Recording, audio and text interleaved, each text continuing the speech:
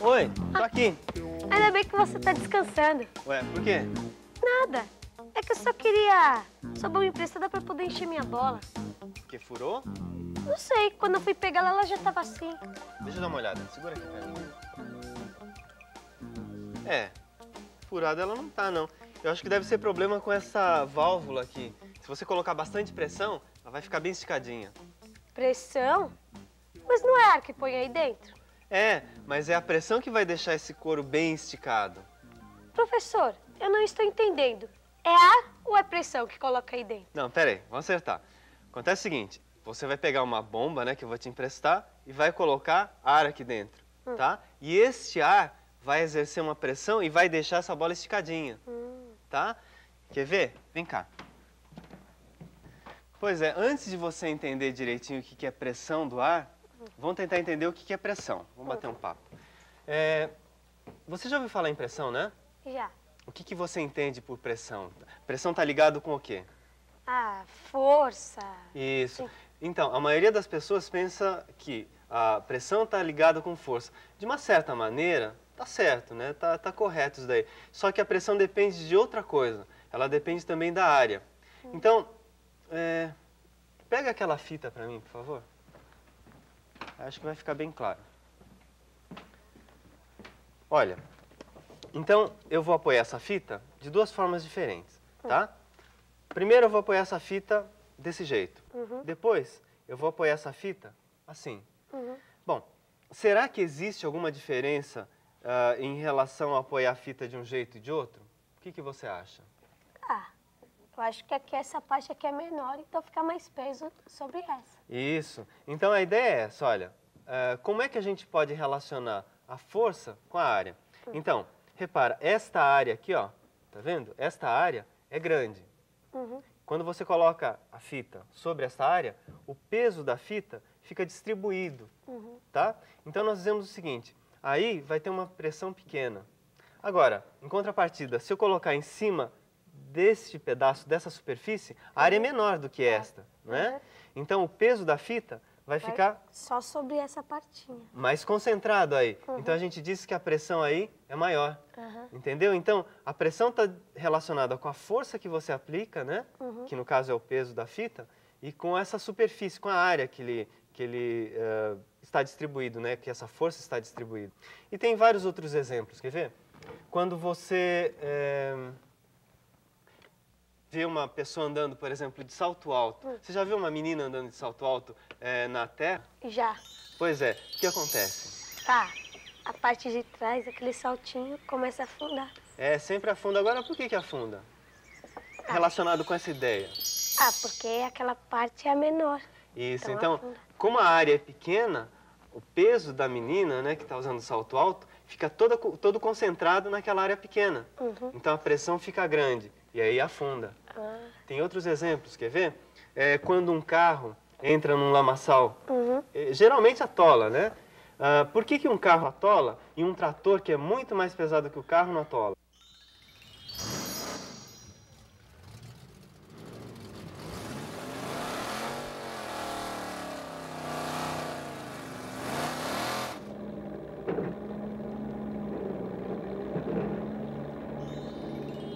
Ah, é por causa das rodas? É, olha, eu vou até ligar com esse exemplo que eu estava te dando. Quando o carro ah, vai pelo lamaçal, ele tem as rodas apoiando o peso dele, né? Então, como o peso fica todo concentrado naquelas áreas, naquela área pequena, né, das rodas, eh, ele cria uma pressão grande, então ele afunda. Em contrapartida, no trator que é mais pesado, ele tem uma esteira mais grossa, né, mais larga. Então, essa esteira permite que o peso do trator fique distribuído. Então a pressão é menor, então ele não afunda, acaba não afundando. Aqui, ó, um outro exemplo. Bom, você sabe que toda faca tem um lado que é o fio, né, a parte mais fina, e uma outra parte que você não usa, uma parte mais grossa. Aí eu pergunto, por que que você, para cortar um pão, um queijo, você usa essa parte mais fina? Porque a área desta é menor. Pois é, a área sendo pequena, a, a força fica concentrada lá. Então a pressão Fica maior. Pois é. Então é por isso que você usa esta área pequena. Se você tentar cortar com o outro lado, você não consegue, né? A pressão depende dessa espessura. Então, não importa se aqui é grosso ou não. O que importa é o seguinte, quanto mais fina a lâmina, maior a pressão que você vai conseguir exercer sobre a superfície. E aí você vai conseguir cortar melhor. A gilete, por exemplo, é bem mais fininha, né? Corta muito mais que isso daqui. Então, por isso que a gente tem que tomar cuidado quando mexe com isso, né? Ah, então quer, quer dizer que quanto menor a área, maior a pressão?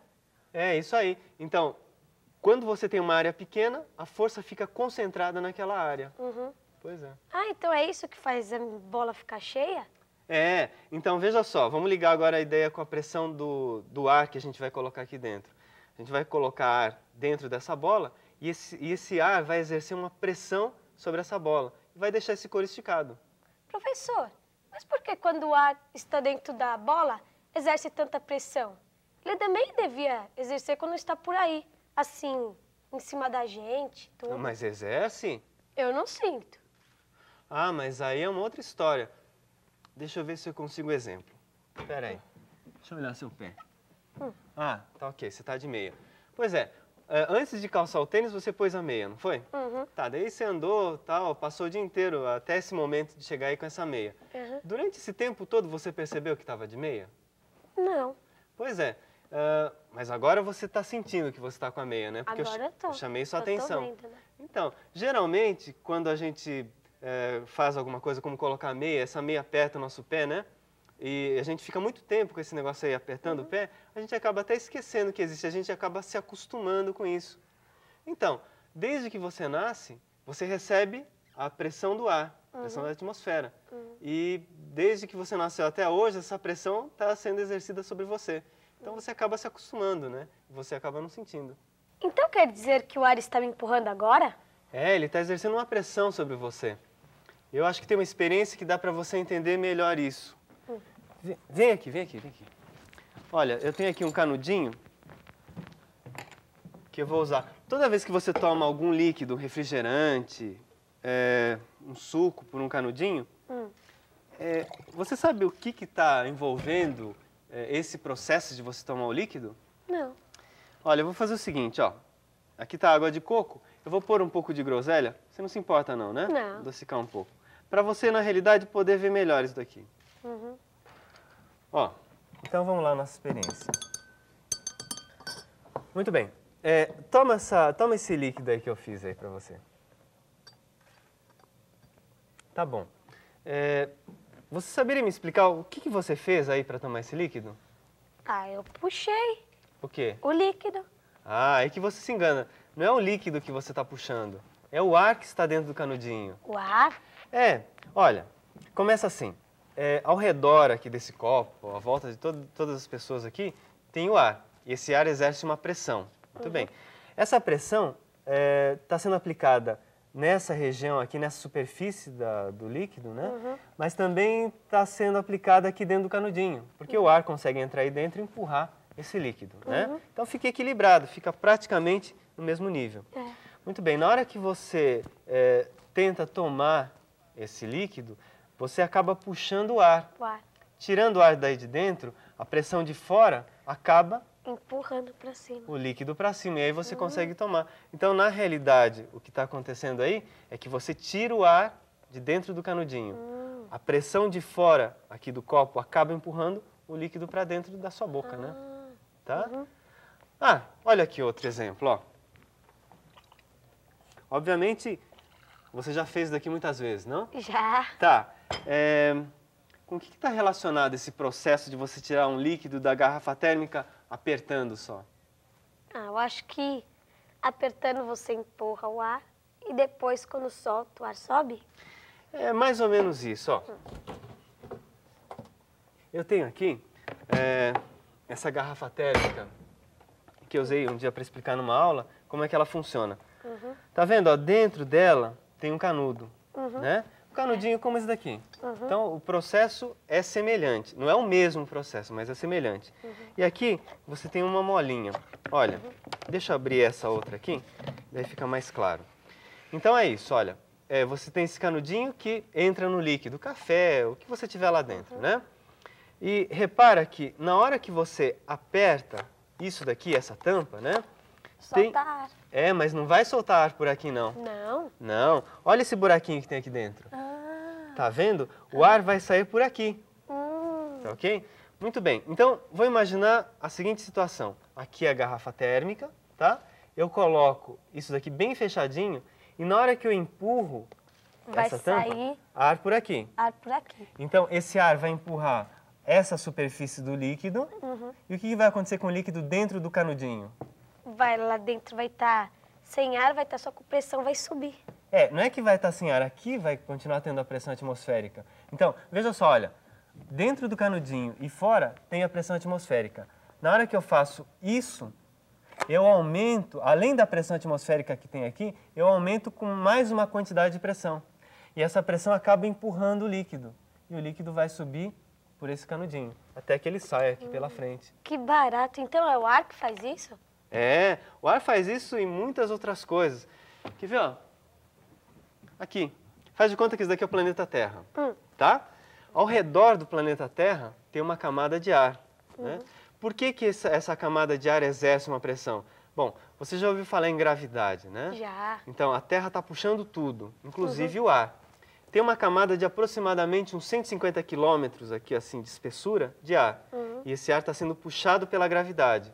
E à medida que ele é puxado, ele acaba empurrando a gente, exercendo uma pressão, Uhum. tá? E se a gente sair daqui? Como assim?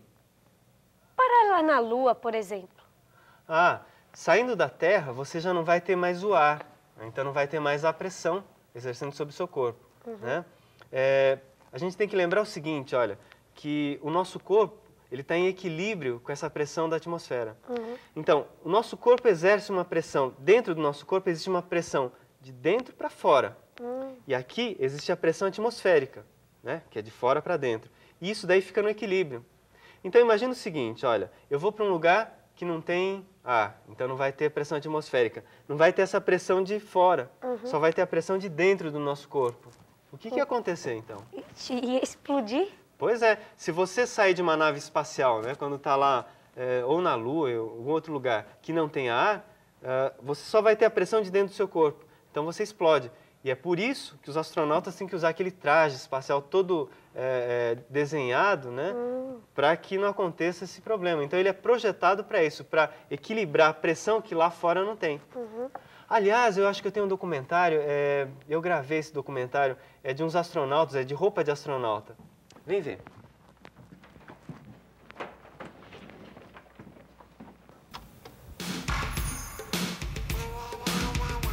Nós, moradores do planeta Terra, vivemos sob influência da pressão atmosférica daqui. Nosso corpo, que também tem sua própria pressão interna, pode adaptar-se bem às variações que aqui ocorrem, seja na montanha ou na praia. Mas se quisermos sair, quem sabe, para dar um passeio lá fora, como fazem os astronautas, aí será diferente. Teremos de nos prevenir muito bem para não sofrermos as sérias consequências da brusca variação de pressão. Para isso é que foram criados os trajes espaciais. Por anos e anos, submetidos a vários tipos de testes e cada vez mais aperfeiçoados, esses enormes trajes são pressurizados, mantendo dentro uma pressão adequada. Eles podem parecer incômodos, mas são indispensáveis à sobrevivência do astronauta nas viagens espaciais.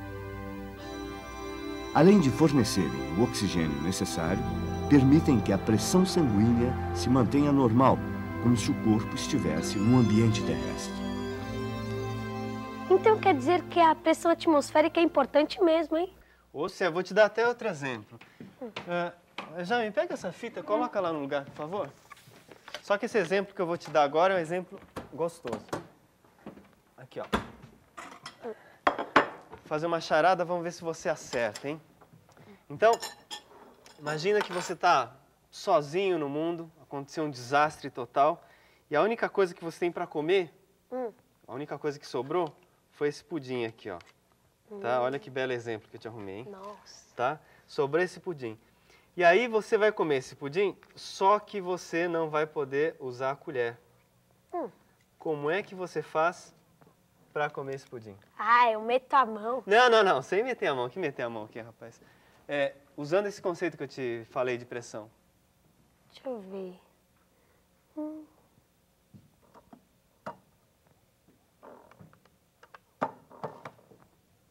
Como, professor? Dá uma dica. É, não pode usar nem a colher, nem o canudinho, em nada, nada. Aliás, uma coisinha só pode usar. O quê? Olha, isso daqui, Deixa eu ver. para tirar esse pudim. Ah, eu acho que já sei. É, isso aí, faz um furinho. Já tinha aprendido, né? Pronto, você furou esse fundo do, do potinho, né? Hum. Então agora puxa. Aí, Ah. saiu. Agora, por que com esse furinho o pudim cai e sem o furinho ele não cai? Você saberia me responder? Ah, será que é porque por cima entra o ar e empurra? É, pois é. Antes é, você tinha isso daqui fechado, né? O Uhum. fundo desse potinho fechado. Então o pudim não conseguia sair. Por quê? Porque a pressão atmosférica estava ao redor de todo esse potinho, né? Hum. Na hora que você fez o furinho, o ar conseguiu entrar Entrar. por esse furinho e acabou empurrando o pudim. Uhum. Tá vendo? Se você estiver sozinho e só com esse pudim, conhecendo os conceitos de pressão, você ia poder comer, né?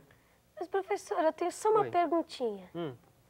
Se agora que o pudim já saiu do potinho, pode usar a colher? Pode, lógico.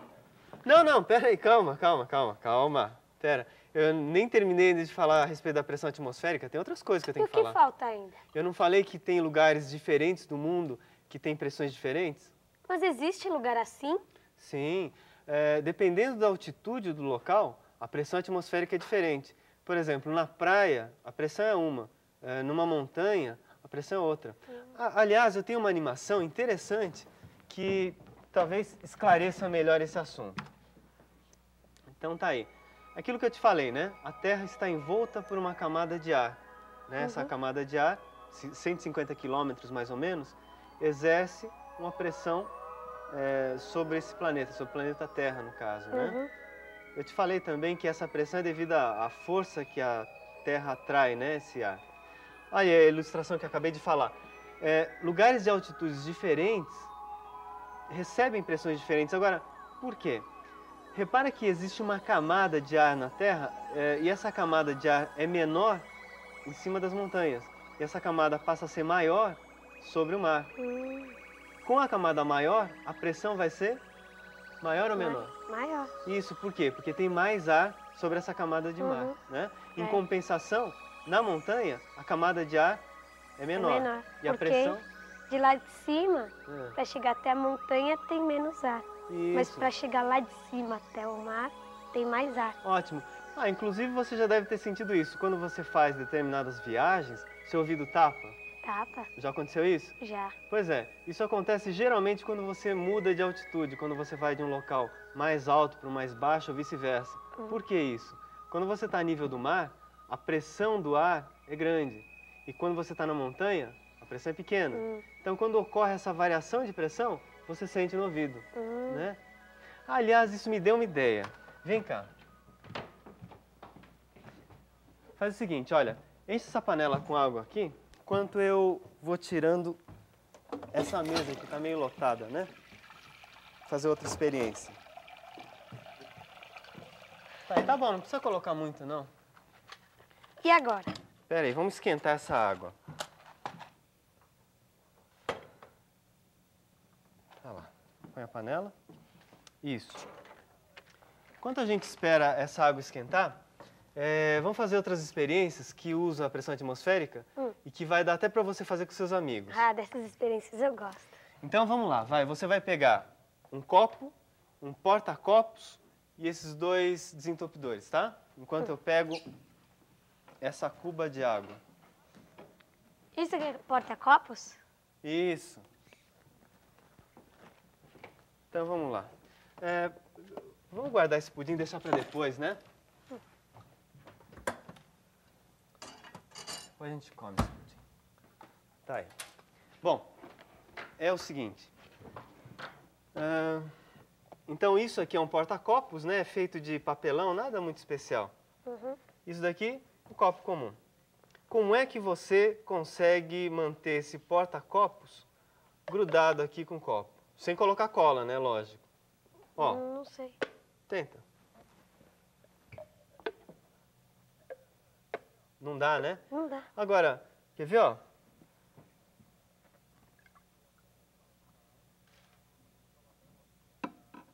Então você coloca o copo dentro da água, tá? Retira todo o ar, encosta no porta-copos. E atenção. Olha lá. Nossa. Tá vendo? O que, que aconteceu aqui para esse porta-copos ficar grudado? Tenta você. Vamos ver se você consegue. Você já vai treinando para na hora de fazer com seus colegas conseguir, né? Isso, muito cuidado, não deixa entrar ar. Isso. Agora, você saberia explicar por que, que esse. Cuidado para não escorregar, né? Senão vai fazer uma sujeira. Por que, que esse porta-copos fica preso? É, porque retira todo o ar de dentro, então a pressão empurra, não possibilitando ele de cair. Mas a pressão empurra por onde? Por baixo. Ah, e você viu alguma coisa muito parecida com isso hoje? O flan, Isso, se eu fizesse um furo aqui, ia cair tudo. ótimo. Então, ao redor disso daqui tudo existe ar. E esse ar exerce uma pressão, inclusive aqui embaixo. Agora, com esta água aqui dentro, não tem nem um pouco de ar empurrando. É. Então, só tem a parte do ar empurrando por baixo. Uhum. E ele fica grudado. Que nem você falou, se eu fizer um furinho ou deixar entrar um pouquinho de, de ar aqui, ó, tá lá. Ele vai cair, né? É. Olha, outra coisa que dá para fazer com o copo dentro da água mesmo. Deixa eu tirar esse porta-copos aqui, ó. Você enche ele todo de água e ó, você consegue levantar esse, esse copo com a água. Olha só, tem água aqui dentro. Pois é, é o mesmo princípio aqui do porta-copos, né? O que, que eu fiz? Eu consegui levantar essa água porque, como não tem ar aqui dentro, tem uma pequena bolinha só. O ar aqui de fora empurra a água e faz com que esse- essa água suba. Ah, Qual a experiência que foi parecida com essa? Que o ar subia por um, um lugar? do canudinho. É isso aí. Na hora Ah. que você tirou o ar do canudinho, você fez com que a pressão de fora empurrasse o líquido para dentro, Uhum. dentro, não fez? Foi. Então, na hora que você tirou o ar aqui, eu tirei o ar do copo, essa água ficou suspensa. Uhum. Percebe? Quer ver, ó? Terceira experiência que você pode fazer. Olha, aqui são dois desentupidores comuns, né? Hum. Muito bem. Ah, se você... Agora tem que fazer com calma. Aqui. Tá entrando ar por aqui, professor. Opa, eu não vi. Tem que estar bem redondinho esse negócio aqui. Pronto. Olha lá. ó. Então, na hora que eu empurrei, eu estou tirando todo o ar, né? Hum. Então, praticamente ficou muito pouco ar lá dentro. Uhum. Olha, repara. Por que, que eles ficam grudados?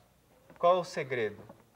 Porque quando fez, quando empurrou, Isso. o ar foi automaticamente saindo. Ah, saiu só um aqui dos, dos desentupidores, né? Uhum. Então, só vai ter ar aonde? Aqui fora? É, E esse ar exerce o quê? Pressão por todos os lados para não deixar eles soltarem. Isso, inclusive é difícil, né, soltar? É. Tá lá. Só cuida. Isso. Até o cabo, pra você ver como é que tá forte Ó. isso daí. Ah, Olha lá. girei. Então, a pressão atmosférica que tá segurando isso daí É. e não deixa escapar. Uhum. Professor, e aquela água no fogo, para que que serve? Ah, é mesmo, tinha até esquecido. Olha, isso daí eu usei, ou a gente vai usar agora, para você entender uma propriedade muito importante em relação à pressão atmosférica. Olha, a água está fervendo agora, né? Tá, Ela está passando de que estado? de líquido Isso. para vapor. Vapor. Muito bem. É, esse processo acontece da seguinte maneira. Você sabe que a água é formada por moléculas, né? Partículas bem pequenas. Qual é mesmo a a fórmula da água? H2O. Isso. Então, essas moléculas de H2O, quando na forma líquida, estão se movimentando, né? Na hora que eu acendo o fogo, elas começam, a ferver essa água, essas moléculas começam a vibrar mais e vão escapando para o ar, em forma de vapor. Uhum. Muito bem, ao redor dessa panela, o que, que a gente tem? Ar e pressão.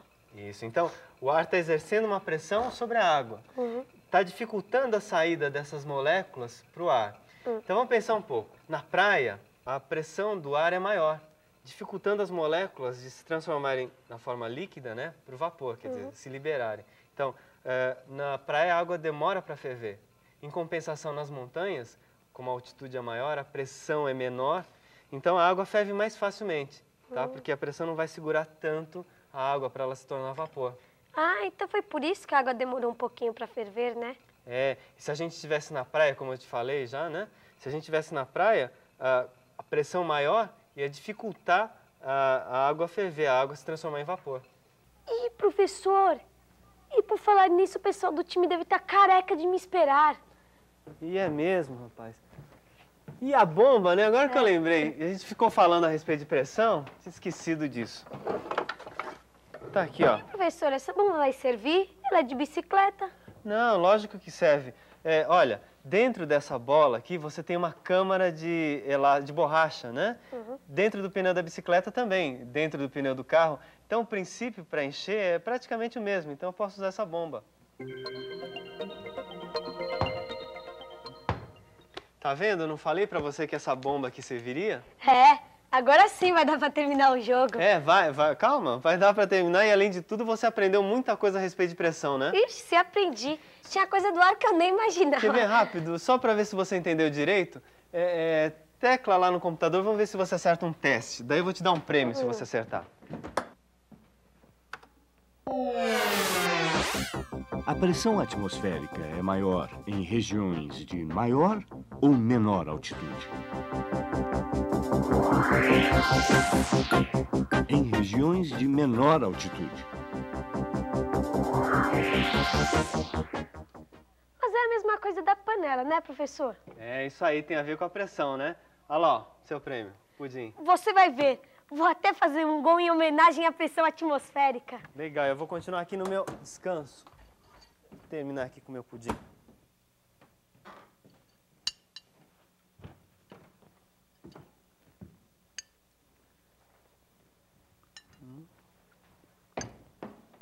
Ué, já voltou e o jogo? Já vou, professor. É que eu acho que eu tenho uma boa notícia pra te dar. Boa notícia? Oba, então fala. Sabe tudo isso que você me falou de quanto mais alto for o lugar, menor é a pressão atmosférica e tudo mais? Sim, claro. Você explicaria tudo de novo? Por que você não entendeu direito? Não, não é pra mim, é pra bastante gente. Você topa? Ah, lógico, eu sou professor, eu tô até acostumado com isso, né? Então posso chamá-los? Mas espera aí, é o time de você, o pessoal do futebol? Que nada, é o pessoal lá da farmácia. Farmácia? Você precisa ver o tamanho da fila. Tá todo mundo com problema de pressão? Pessoal, pode vir. Pressão? Farmácia?